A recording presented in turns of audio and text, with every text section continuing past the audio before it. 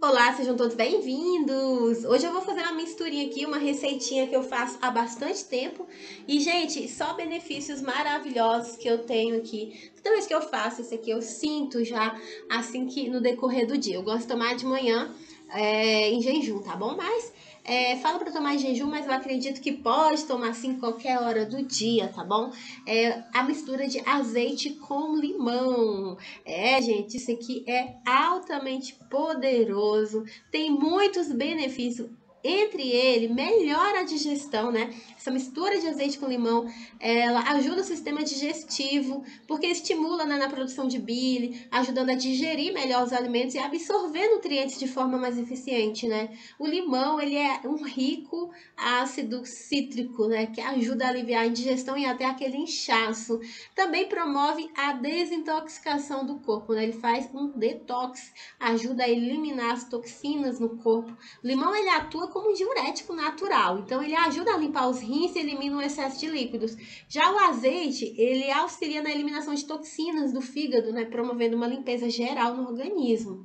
Fortalece também o sistema imunológico. O limão é excelente fonte de vitamina C, isso a gente não tem dúvida, né? Que é fundamental para o fortalecimento do sistema imunológico. Consumir essa mistura diariamente ajuda a proteger o corpo contra resfriado, gripes e infecções.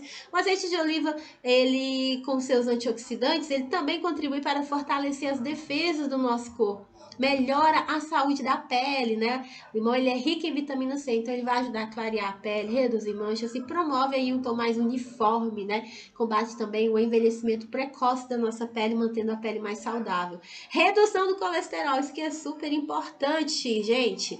É, os graxos, ácidos graxos monoinsaturados, eles ajudam a aumentar o colesterol bom e a reduzir o colesterol ruim, né? E no que que isso ajuda?